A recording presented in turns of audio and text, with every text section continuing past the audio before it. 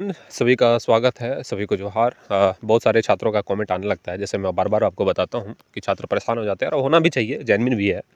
क्योंकि बहुत लंबा टाइम हो गया है सुप्रीम कोर्ट में। मैं बात करना चाहूँगा यहाँ झारखंड पुलिस चार्ट दो हज़ार पंद्रह से रिलेटेड कुछ अपडेट्स के बारे में। और आज लगभग कुछ क्लियर कर दूँगा, कुछ शॉर्ट टाइम में। बाकी के कुछ एक वीडियो जिसकी ज़िक्र मैं आपको कर रहा था पिछला वीडियो में वो भी एक दो दिन में आ जाएगा, जिसमें मैं पूरा क्लियर कर दूँगा कि किस केस में जो है वो दम है और आपकी जीत उस केस से सुनिश्चित हो सकती है। ये मैं आपको उस वीडियो में बता दूँगा लेकिन यहाँ मैं थोड़ा क्लियर कर देता हूँ क्योंकि कुछ अपडेट्स सुप्रीम कोर्ट से आए हुए हैं और आप खुद केस स्टेटस में जाके आप देख सकते हैं। आ, लेकिन मैं आपका काम आसान कर देता हूँ कि यहाँ बता देता हूँ और थोड़ा फ्यूचर भी बता देता हूँ कि आगे क्या होने वाला है। इससे आपको पता चल पाता है कि आपके केस किस और जा रही है। तो सबसे पहले यहाँ देखिए आपके केस तो यहीं पे है। बाकी दूसरा आपको स्क्रीन में यहाँ पे दिख रहा होगा संतावन उनपचास यहाँ पे विके पांडे, यहाँ पे विष्णुकांत पांडे का केस। इस केस को जो है, वो मेहताब मेहताब खान जो केस है, इसके बारे में भी बताऊँगा कि ये मेहताब खान का केस कौन है और क्यों इसका ज़िक्र यहाँ पे मैं कर रहा हूँ। तो सबसे पहले विष्णुकांत पांडे में एक प्रॉब्लम यहाँ पे है। वो प्रॉब्लम ये है कि इसका जो है, रिस्पोंडेंस नंबर वन, जो सरकार को नोटिस भेजने की बात यहाँ पे होती है उसको यहाँ पे अभी तक अधूरा रखा गया है, उसको नहीं किया गया है। और छात्रों को चाहिए, जो भी पिटिशनर्स हैं या उससे जुड़े हुए जितने भी छात्र हैं, उनको चाहिए कि अपने वकील पर प्रेशर बना के उसको जल्द से जल्द जो है नोटिस करवाया जाए। वो इसलिए मैं बोल रहा हूँ, क्योंकि इस केस को मेहताब खान से टैग है। अब आपको समझने की ज़रूरत ये भी पड़ेगी कि मेहताब खान के बारे में यहाँ टैग का मैटर क्यों हो रहा है तो आगे मैं वो भी क्लियर यहाँ पर करने वाला हूँ। तो सबसे पहले यहाँ पर आप देखिएगा डॉक्यूमेंट्स नंबर बाईस पाँच सौ पाँच जो है, ये आप खुद जाके देख सकते हैं। और इसमें एक यहाँ देखिएगा मधुस्मिता बोरा जो है, ये अपडेट यहाँ पे आपको आया है तीस तारीख के डेट पे। ये अपडेट ये है कि सरकार की तरफ़ से, सरकार की तरफ़ से ये वकील को खड़ा किया गया है आपके पक्ष, विपक्ष में लड़ने के लिए मतलब आपके अगेंस्ट लड़ने के लिए मैं बोल सकूँ। तो सरकार की तरफ़ से वकालतनामा जो होता है एक तरफ़ से मैं कहूँ तो वो यहाँ पे दायर कर दिया गया है इस वकील को लेके कि इस रिलेटेड वैकेंसी को इस वकील के द्वारा ही देखा जाएगा और उस वकील का नाम है मधुस्मिता बोरा।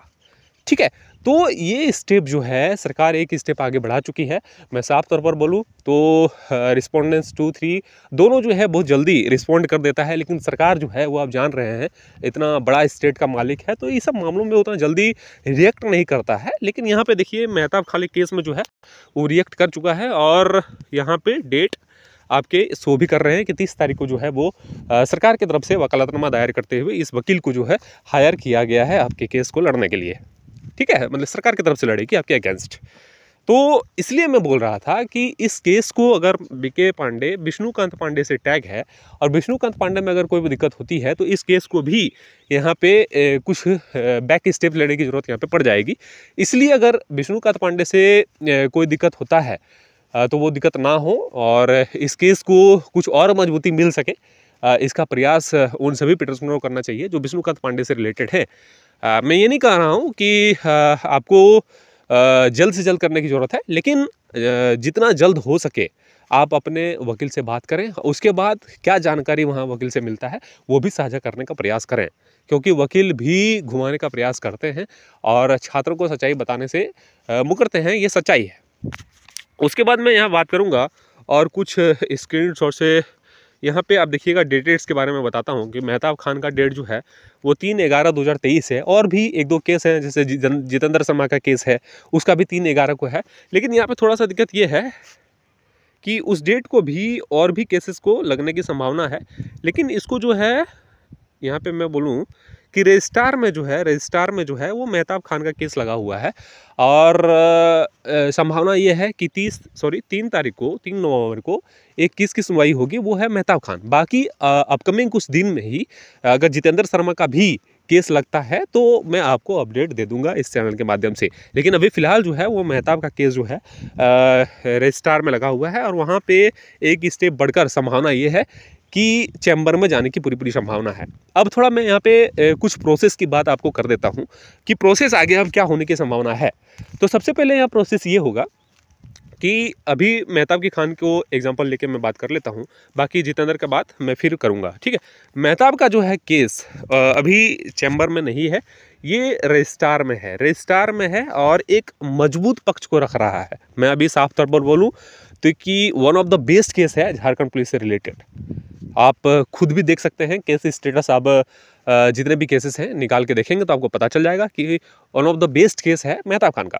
इसमें जो है रजिस्ट्रार में तीन तारीख को जो डेट लगा है इसमें जो चैम्बर बेंच में जाएगा इसके बाद जो मैंने अभी आपको बताया कि सरकार की तरफ़ से वकील का नाम यहाँ पे ऐड किया गया है आ, उसमें जो है फिर काउंटर जो है वो जवाब जमा कर, करना पड़ता है और जैसे ही चैम्बर में लगेगा, उसके बाद काउंटर जो है वो जमा करेगी सरकार। उसके बाद जो है वो फाइनल डेट आपके मेन कोर्ट में लगेगा, वहाँ पे बहस होगी। तो इसमें जो है कुछ टाइम लगने की संभावना यहाँ पे है, लेकिन आपको हतोत्साहित नहीं होना है। कुछ भी अपडेट अगर आता है तो मैं आपको इस चैनल के माध्यम से ज़रूर देता हूँ। और आने वाले टाइम में कुछ भी अगर अपडेट आता है, आपसे कुछ सहयोग की ज़रूरत पड़ती है तो वो भी बताया जाएगा। लेकिन अभी फ़िलहाल यही अपडेट था। बाकी आपको इंतज़ार करने की ज़रूरत है, मैं यही कहूँगा। और दिसंबर तक संभावना है कि मेन कोर्ट तक आपके केस पहुँच जा सकते हैं। और जो भी छात्र इस केस से जुड़े हुए हैं पिटिशनर हैं उनको थोड़ा और सब्र करने की ज़रूरत है, क्योंकि आपके केस मज़बूत है, मैं बार बार बोलता हूँ। और किसी दिन खुशखबरी आपको मिली जाएगी कि आपकी जीत हो चुकी है और आप ज्वाइनिंग करने वाले हैं। इसलिए आपको परेशान नहीं होना है। कुछ भी अपडेट अगर आता है तो मैं पूरा उसका पोस्टमार्टम करने का प्रयास करता हूँ। और एक शॉर्ट वीडियो है, मैं आपको यही बताऊँ कि ये शॉर्ट वीडियो है, लेकिन इसका भी एक विस्तृत जानकारी मैं आपको कुछ ही दिन में बता दूँगा, जिसमें करीब करीब आधा घंटा का वीडियो रहेगा। वो काफ़ी हेल्पफुल रहेगा आपके लिए कि किस हद तक आपकी केस और किस और जा रही है और ये केस से आपको क्या फ़ायदा होने वाला है, मैं सभी केस का डिटेल्स वहाँ पे करने वाला हूँ। लेकिन अभी जो ज़रूरी था, काफ़ी इंपॉर्टेंट था, मेरे पास समय का अभी थोड़ा कमी है, मेरे कुछ मित्र हैं जिनको पता होगा कि मैं काफ़ी जो है वो दिक्कतों के बाद वीडियो शूट कर पा रहा हूँ अभी तो उनको कुछ पता है, लेकिन बाकी कोई दिक्कत नहीं है, आपके लिए ही तो इस चैनल को खड़ा किया गया है और आपको अगर अपडेट ना पाऊँ तो यही कहीं ना कहीं दिक्कत भी हो सकती है। तो बाकी ठीक है, और कोई भी अपडेट अगर आपके कुछ क्वेश्चंस हैं तो आप कमेंट्स में डाल दीजिएगा। मैं आपको वहाँ पे जवाब देने का प्रयास करता हूँ और करूँगा।